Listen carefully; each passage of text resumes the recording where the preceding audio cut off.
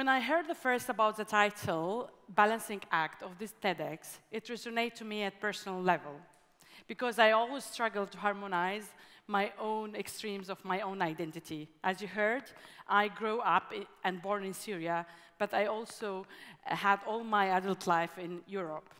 I'm software engineer, but also an artist.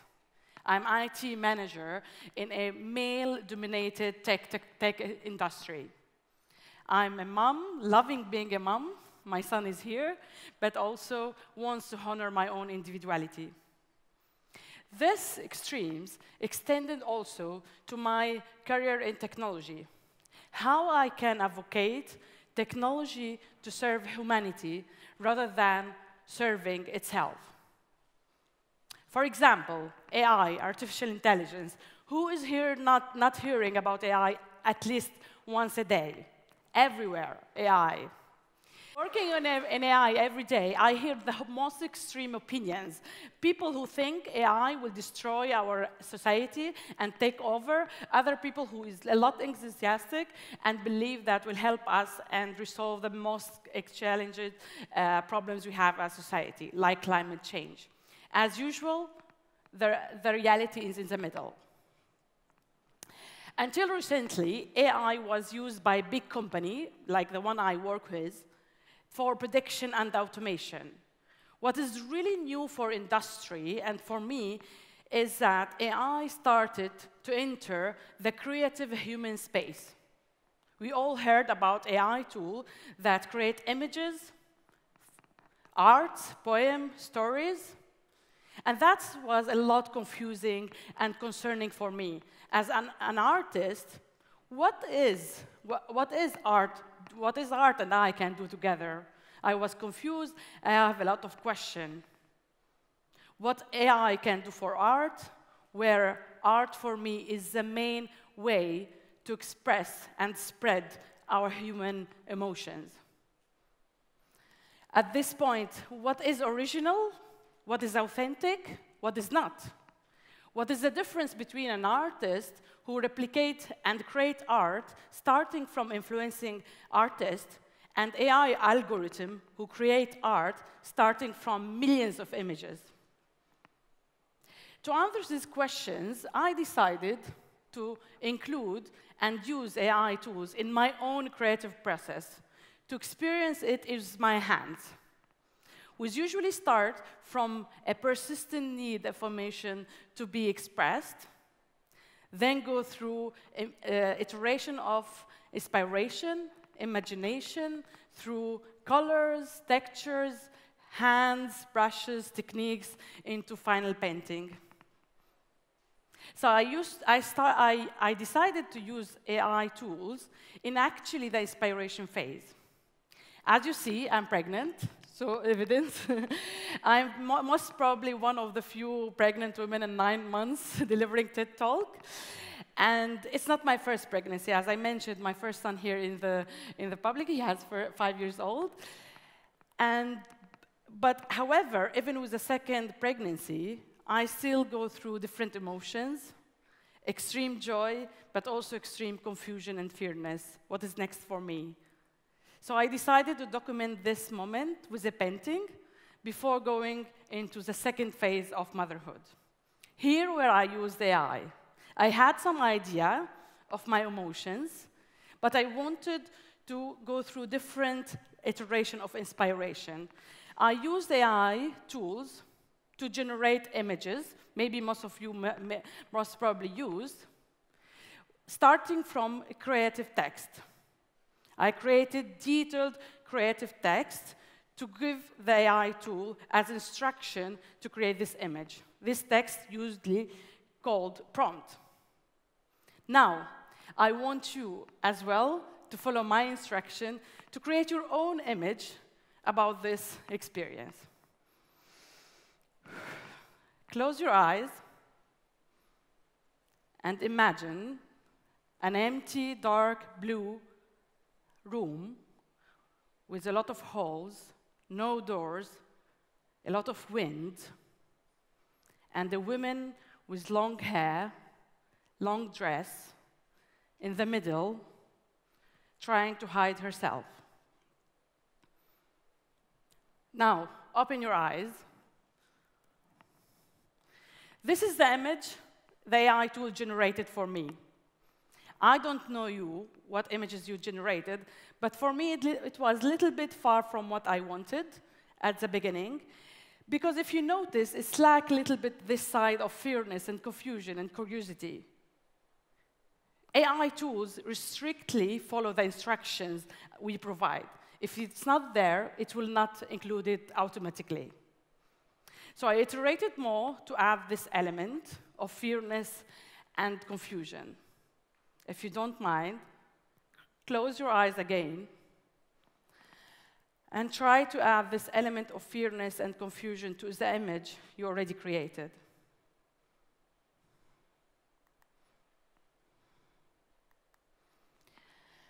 This is the image created after a different iteration from my AI tool. Little bit closer, too much extreme. I wanted little of the confusion, not that much.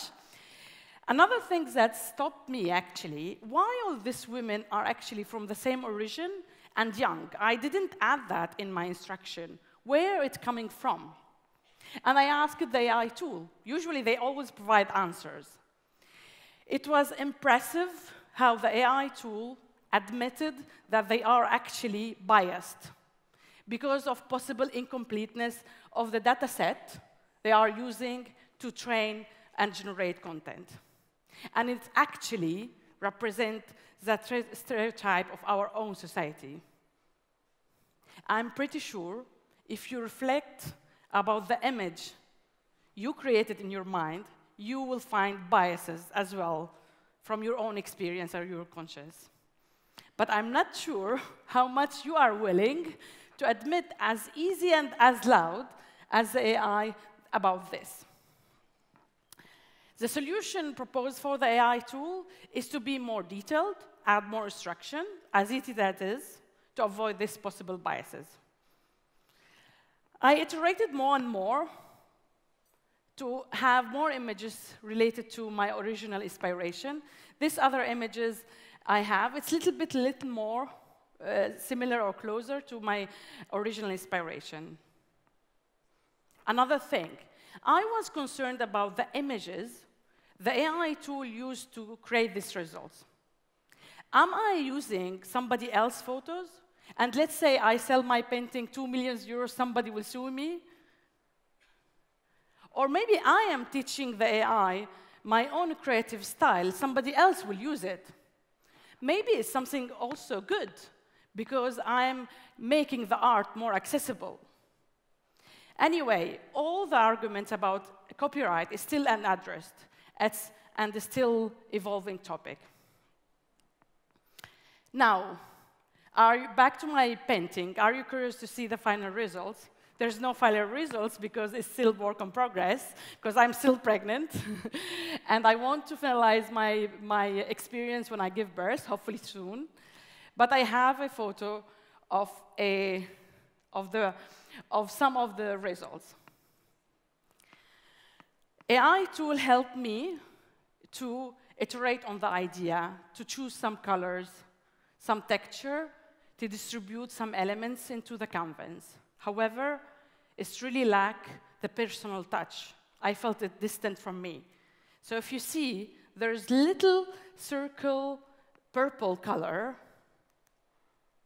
I decided to use in this painting, which is actually the tap of the needle I'm using to test my blood sugar six times per day because I have developed diabetes, gestational diabetes. And this to represent the struggle a woman pregnant can have in this period. And also these eyes to represent the wake-up moment I had during my, my especially second semester, full of confusion, questions, and, and curiosity. All this uniqueness is really relative to my experience, and no AI tool can reach this level of intimacy and physical touch. Even me, as software engineer, I can't tell that. Now, I know I raised a lot of questions in your head, some of them with answers, some of them without. I'm the same situation as you. My own conclusion after this experience, actually, is AI restrictly representation of the data set used to generate and train this result, which is totally, completely normal and very familiar to have incompleteness that lead into biases and inaccurate answers. And they are actually representing our own society why we are more rigid with AI rather than human. What we can do as normal citizen? Obviously, we can do a lot. First of all, we can be informed, ask informed question, follow-up question, challenge the AI tool, not taking the first answer automatically, provide detailed instruction as well, and also acknowledge that it's, there is some elements unaddressed elements that we can think about workarounds. As you see, I applied both my engineering scientific part of myself by asking informed questions, but also my creative side by playing with words to create images that inspire me. I enjoyed a lot this experience much more than expected, actually, because it's really convinced me that the real balancing act is a continuous feedback loop between human and AI, scientific part of us, and the creative part of us to make it better for all of us for the future. Thank you.